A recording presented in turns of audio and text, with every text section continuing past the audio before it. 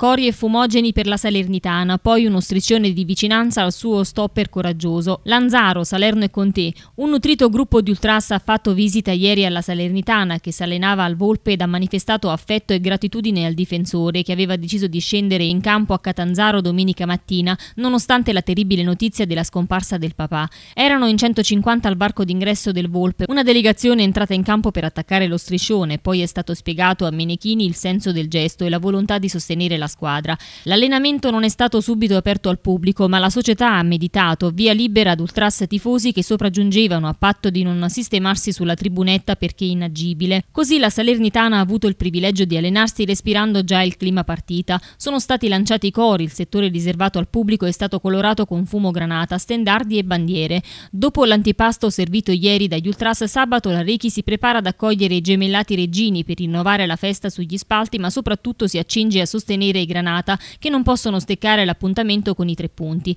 Sarà determinante la spinta dei tifosi, ha detto Lotito. Ci sarà anche mezza Roma. Il popolo sogna e comincia ad acquistare i biglietti.